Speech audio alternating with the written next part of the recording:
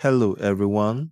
This video is an overview of FLProg, an embedded programming environment.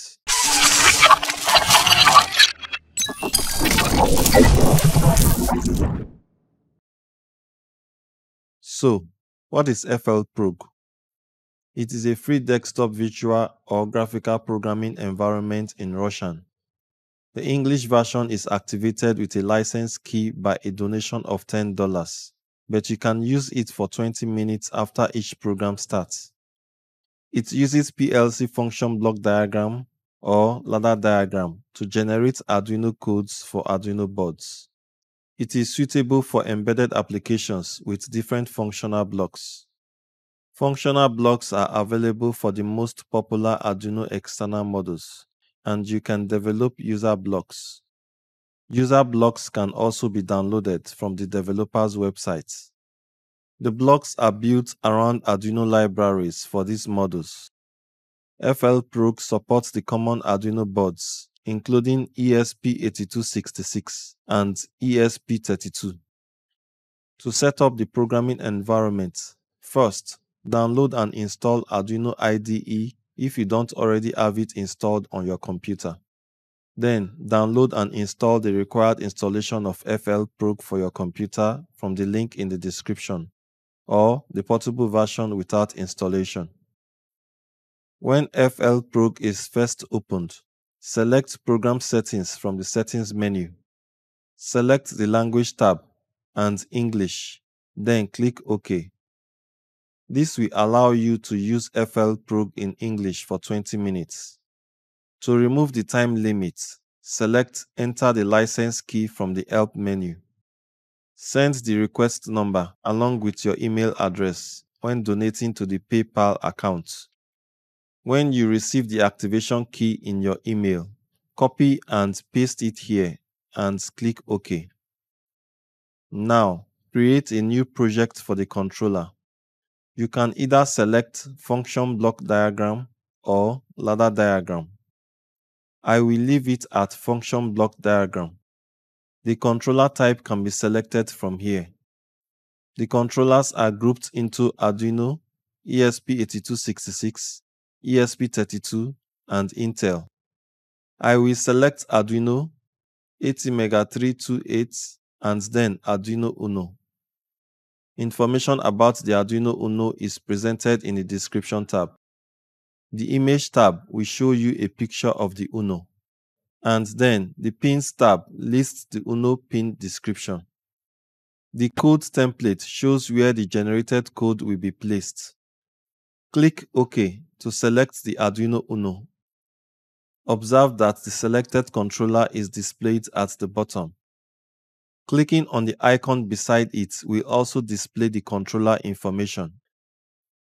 The programming environment consists of the main menu at the top, the project window on the left, the tag window you can expand and collapse, the blocks library on the right, and the main program window. In the project window, you can expand the controller tree to access the controller settings if required and double-click on them to adjust. Input, output, and variable tags are created from here or from the tag window. Expand the output tag and double-click on Add Output.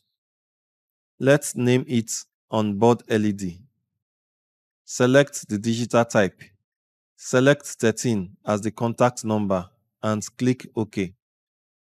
On the right-hand side, you can use the integrated blocks library for timers, displays, sensors, and lots more.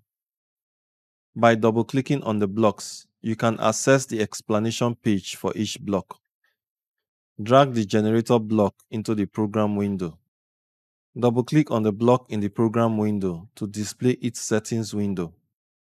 Select the symmetrical multi-vibrator as the generator type. Then type in 500 milliseconds and click OK. Drag the onboard LED tag into the program. Click on Output Q of the block and drag to connect it to the onboard LED tag. Right-click on Input EN of the generator and select Insert Constant. Select True and click OK. Double-click on the top left of the program window to name and add a description of the program. From the main menu, click on the Check Project icon to verify your program. You should see Project Correct if there is no error. This icon will be red when there is an error, otherwise it will be green. Click on this icon to view the Arduino code for the project. You can also open the Arduino IDE sketch. Clicking on Compile Project will also open the Arduino IDE sketch. You can then go ahead and select the Arduino Uno board from the Tools menu and the port number if not already selected. Then upload the code to the Uno. Close the IDE to return to FLProg. If you don't want Arduino IDE to open when compiling and uploading the code, select Project Settings from the Settings menu. Select to download to the controller directly. You can also change the controller type from here. When you click on the Compile Project icon, a prompt to select the serial port number will appear. Then click on Download. We will be testing some of the integrated library blocks with the ESP32 board in the coming days. I hope you will stay tuned by subscribing and enabling your notification bell if you have not. See you in the next video.